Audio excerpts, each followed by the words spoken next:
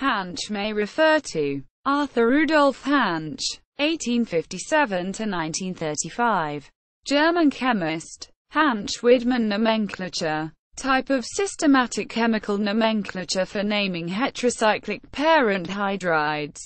Hantzsch-pyridine synthesis multi-component organic reaction between an aldehyde a beta-ketoester and a nitrogen donor. Hantzsch-pyrrole synthesis the chemical reaction of beta-ketoesters with ammonia and alpha-haloketones to give substituted pyrroles. Bernhard Hantzsch 1875–1911. German ornithologist, Arctic researcher and writer, who discovered two Icelandic bird subspecies. Hantzsch Island, uninhabited island in the Qikiqtaaluk region of Nunavut, Canada named after Bernhard Hantzsch.